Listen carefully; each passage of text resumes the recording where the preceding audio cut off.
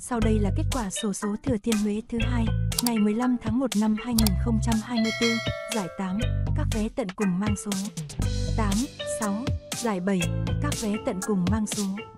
2, 6, 1, giải 6, các vé tận cùng mang số. 8, 9, 9, 6, 6, 5, 3, 8, 1, 6, 9, 4, giải 5, các vé tận cùng mang số.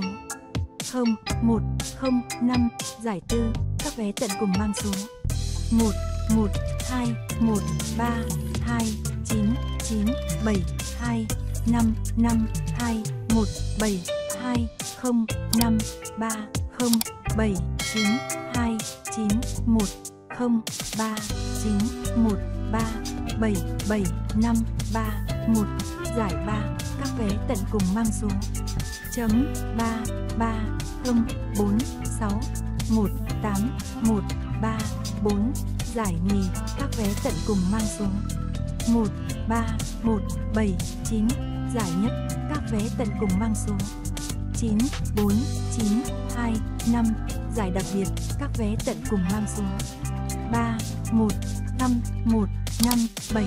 Sổ số Thừa Thiên Huế được tường thuật trực tiếp nhanh nhất và chính xác nhất tại website sổ số.mobi. Chúc các bạn may mắn, yêu các bạn.